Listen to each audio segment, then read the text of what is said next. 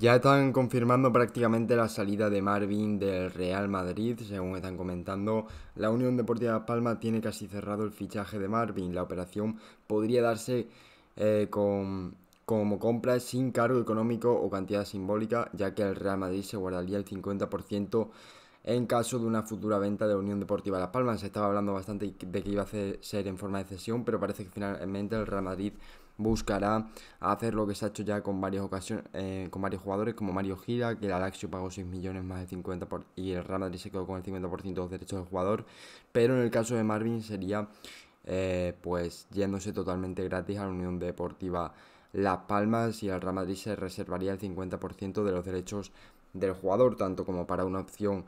a una futura venta o como para recomprarlo el Real Madrid en un futuro. Veremos a ver qué tal le va Las Palmas. El Real Madrid yo creo que debería de haberlo eh, cedido porque Marvin es un jugador que tiene bastante futuro. A veces que ha jugado en el primer equipo lo ha hecho bastante bien y creo que en un futuro se podría sacar una buena cantidad